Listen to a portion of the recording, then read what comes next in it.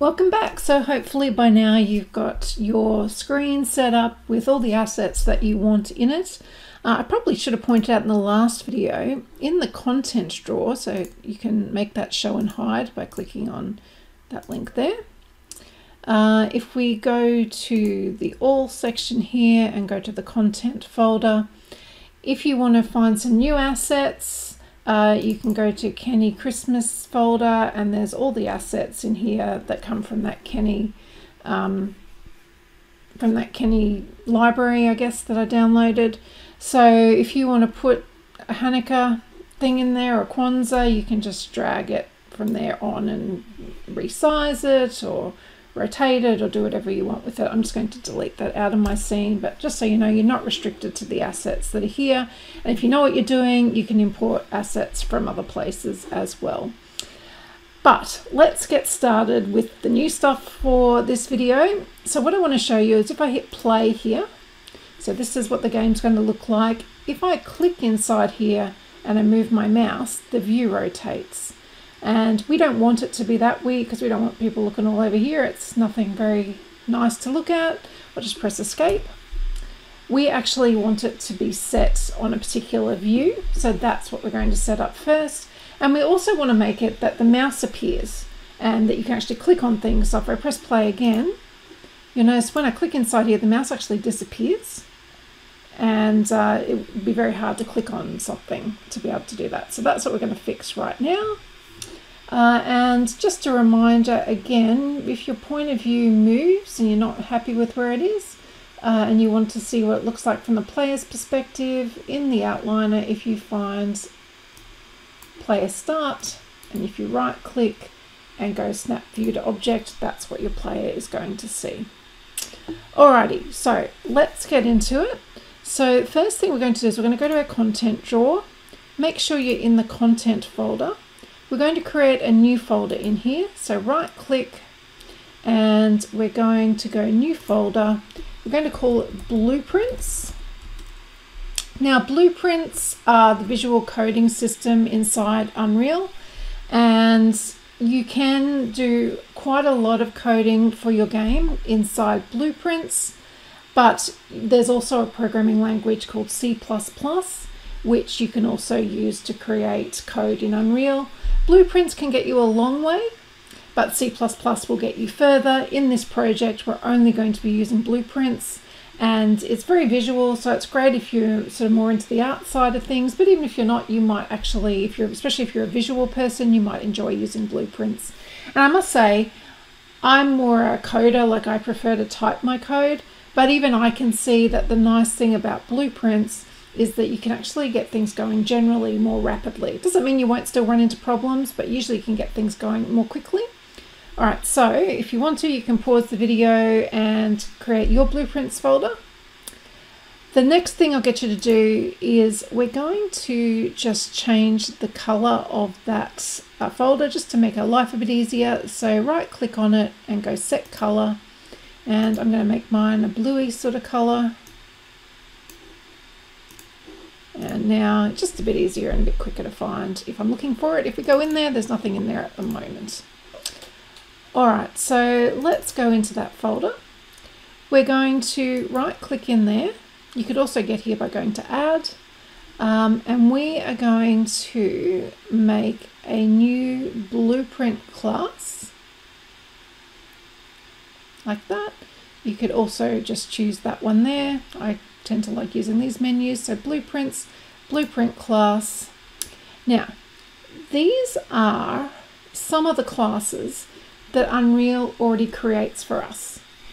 Now, you can make all this stuff from scratch, but the reason you'd use an engine like Unreal Engine is the developers of Unreal have thought about all the different types of things you might like to do in a game and they've tried to sort of pre-write code essentially to make that easier for you. So if we have a look, these are the main or most common um, parent classes that you're going to use. So actor is an object that can be placed or spawned in the world. A pawn is the same as an actor, but it can actually receive input from a controller. Whereas a character is a type of pawn, so you've got a character, which is a type of pawn, which is a type of actor.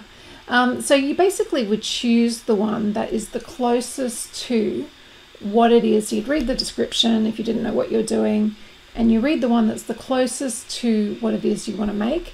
In our case, we're wanting to change the, um, the, the what happens with the mouse. So in this case, that's actually the player controller. So player controller is an actor responsible for controlling a pawn used by the player. So we're just going to click on that and I'm going to call this. Now Unreal likes you to use a naming convention. You don't have to use it, but uh, typically blueprints will have a capital P, a capital P underscore, and then the name of the class. So this one is player controller. And you'll notice they tend to use um, capital letters for new words. You never put spaces in uh, class names. You and these are called blueprint classes. You just put a capital letter at the beginning of each new word. So I'm going to press enter on that. So we've got BP underscore player controller. It knows that it's a player controller, so it's turned it into like a, a game controller icon. Now, we're not actually going to do much, well, we're not going to do any coding in here. We're actually just going to change some options.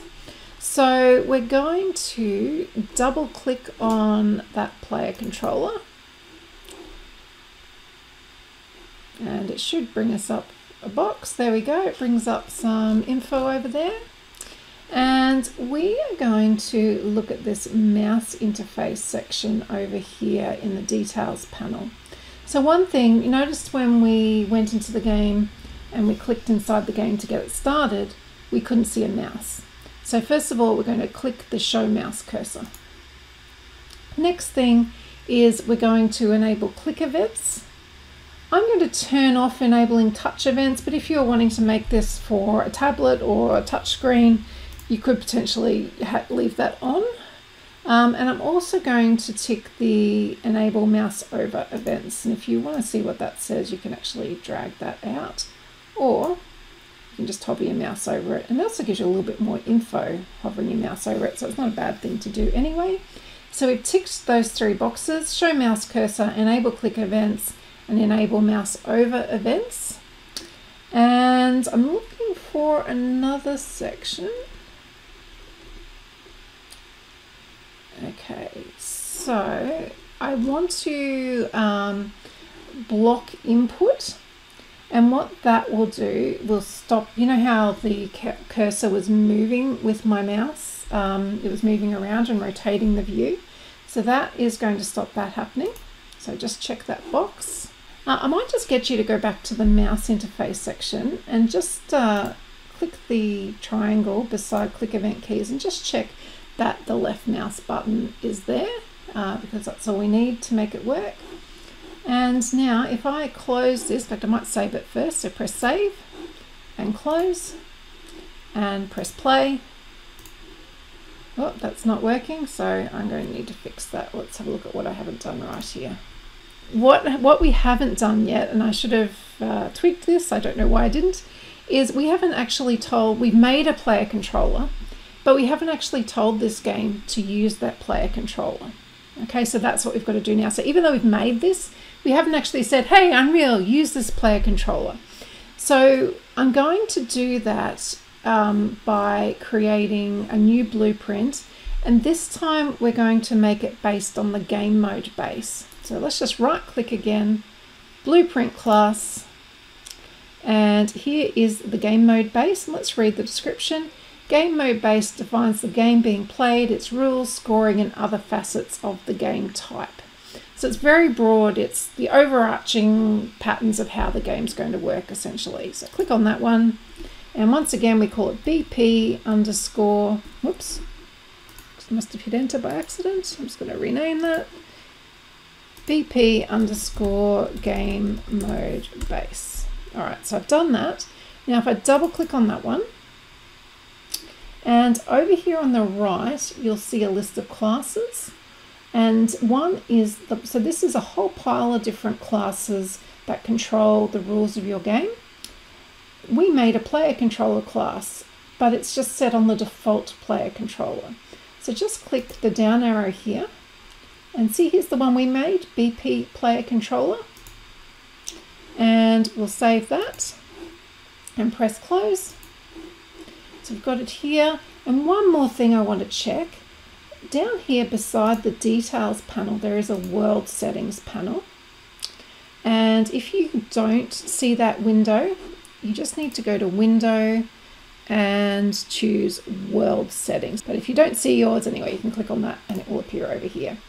So world settings, change the game mode override and we're going to tell it we're going to use BP game mode base. So basically we're just saying you, and there's more than one way of doing this, but we're just telling our game we're using BP game mode base as the game mode. And if I click this little triangle there, you'll see, and it's using our BP player controller as the player controller class.